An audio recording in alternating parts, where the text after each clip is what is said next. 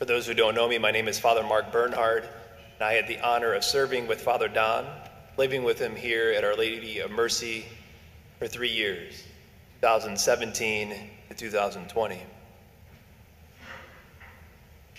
I told Father Don that if he died before me, that he could put in his will that I would get the dogs.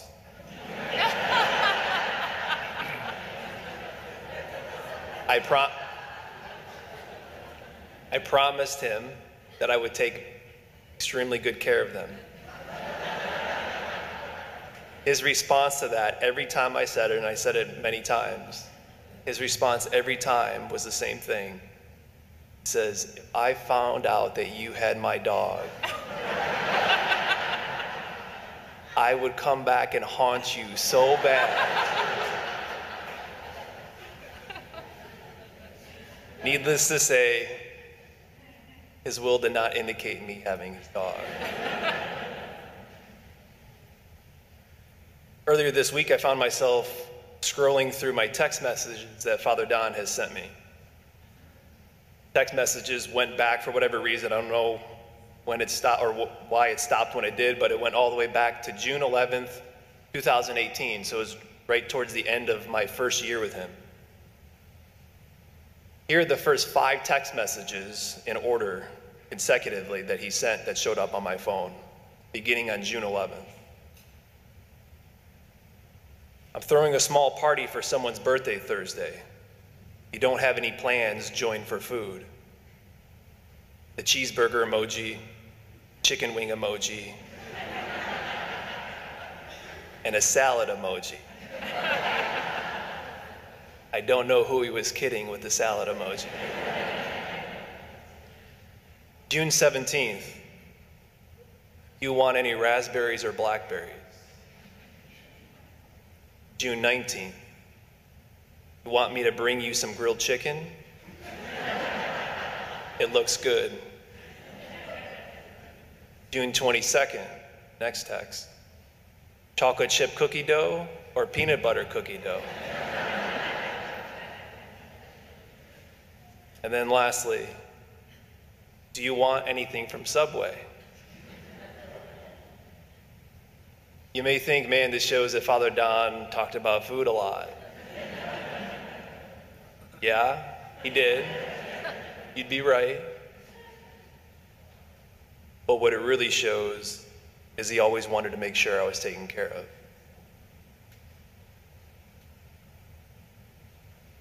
Father Don cared for people in a way no one else cared for people. I felt that from the first day that I met Father Don, and I think it's the same experience everybody had with Father Don.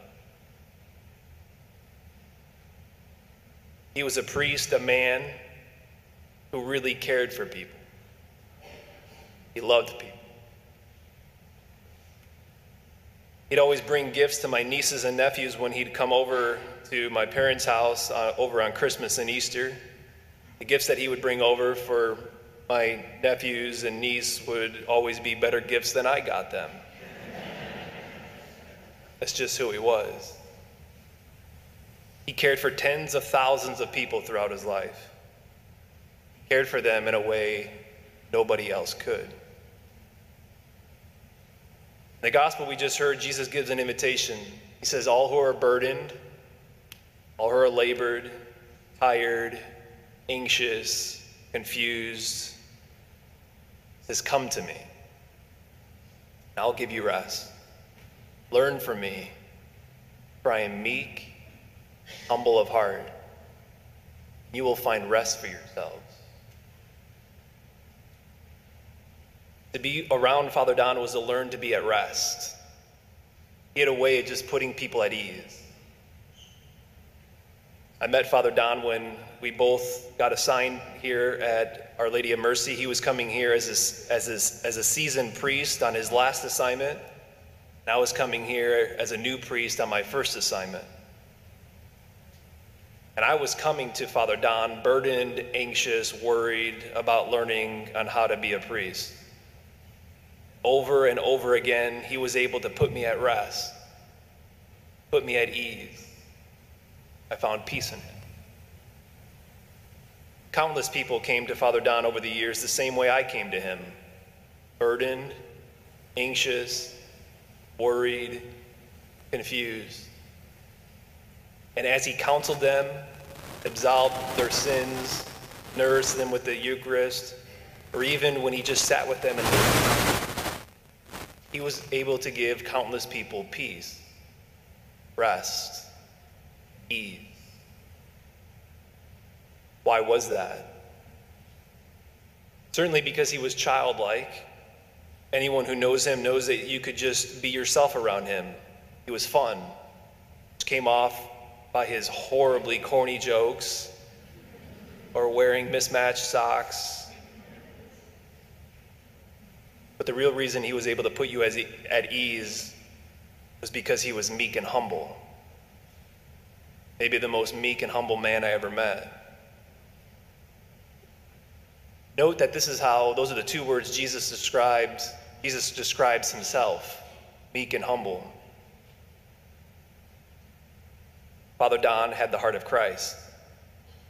Because of that, to go to Father Don, you were going to Christ. That's the mark of a good priest. St. John, St. John Vianney once said, The priest must be full of love, patience, and understanding especially towards those who, who, are, who struggle and are weak. I don't know if you could sum up Father Don as a priest any better than that. He was full of love, patient, he was understanding. And he especially had a heart for those who are weak, struggling.